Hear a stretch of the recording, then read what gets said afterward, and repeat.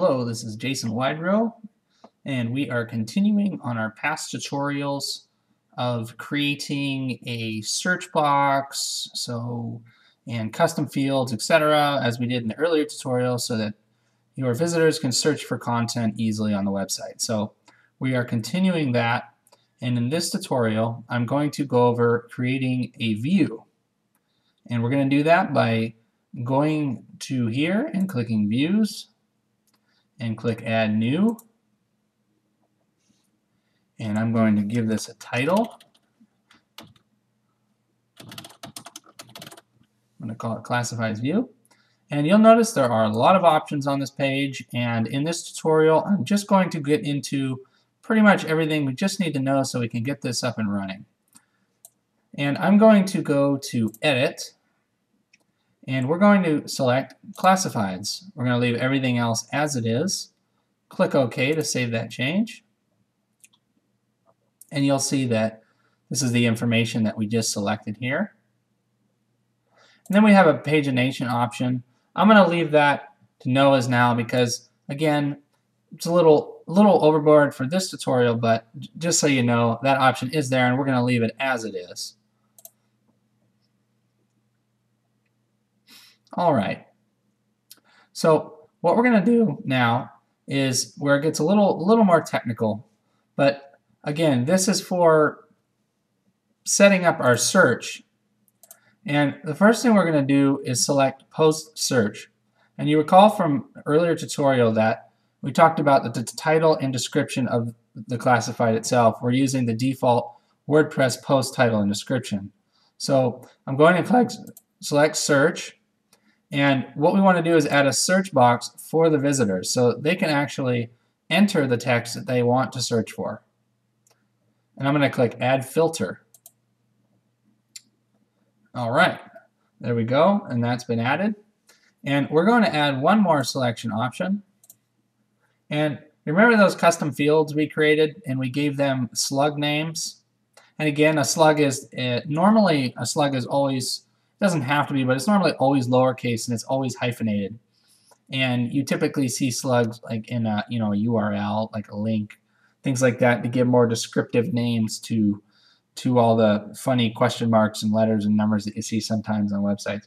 But that's a totally different subject. So I'm going to jump to this, and we're going to also add the category option as a selection. And this is going to be a like option and we're going to select the URL parameter and this selection basically just means that the when when you click the search button the information from this is going to be passed so that the search can actually take place. I'm not going to get too much into the technical details of it but the important thing to know is that you just want to have your slug name in here because this tells us what we're actually searching for, what item we're actually searching for, and that's a category. And uh, you'll see how this works in just a moment. So we're going to click Add Filter for that. And then for the last one, we are going to, actually, we are going to do, no, those are the only two we're going to do for this tutorial to keep things rolling right along here. All right, so as you can see, we have a search box, and we have a category selection option. Now, the next thing we need to do is I'm going to click OK actually on that option because I want to save that. The next thing we're going to do is go down here and you'll see that these boxes were automatically created. And I'm just going to put these in a little better order and you can drag them by simply moving them like this by grabbing the blue dot and holding your button down there and just moving it. And I want to actually have the apply. Okay, that's that's the perfect order that I want. Now on this category option, this is going to be a select box type. And I'm going to click use existing field when showing this control. So basically, in the earlier tutorial, you probably remember, remember me entering hot rods, cars, and trucks. And you probably remember me entering them in both fields, the title of it and the actual what's stored in the database. So what we're searching for is what's stored in the database. So I'm going to say use existing custom field values when showing this control. And I'm going to click OK to save that. And this search is just a text field, and this is a submit button. So we're all good on these. But one thing that's commonly forgotten and sometimes missed is these need to be checked to be enabled. So any box here that you want to show on your search form must be selected here to show up on the actual view when a visitor comes to your site. So we're going to click OK to save this change. And you'll notice a little message here saying this view has changed. You need to save for these changes to take effect. And of course, you can hit the Save button now if you like. I normally recommend saving while you're making these edits just in case you accidentally close the browser or whatever, just to save the hassle in case something goes wrong. So click Save. All right. Now we're going to decide.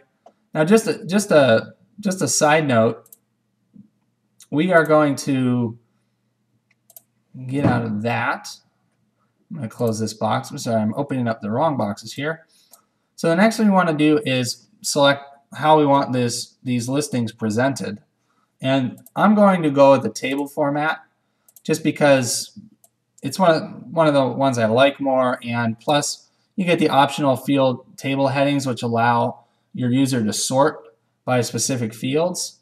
So that comes in handy sometimes when you have listings and it's not a bad idea to use that. So what we're going to do here is add the actual field values as they're going to show up on the results page.